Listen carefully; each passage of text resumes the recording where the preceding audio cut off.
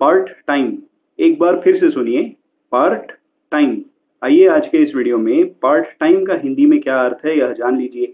सबसे पहले यह जानिए कि पार्ट टाइम शब्दों का उपयोग अंग्रेज़ी में विशेषण अथवा गुणवाचक शब्द के रूप में किया जाता है।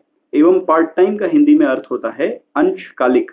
यदि किसी भी कार्य को उसके निर्धारित समय से कम समय के लिए किया जाए तो उस कार्य को आंशिक रूप से करने में लगने वाले समय को पार्ट टाइम अथवा अंशकालिक कहते हैं।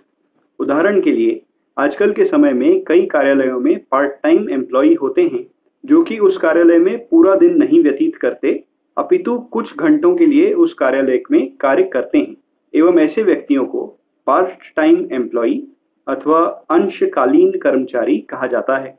अब आपसे आग्रह है कि आप वीडियो को लाइक और चैनल को सब्सक्राइब अवश्य करें।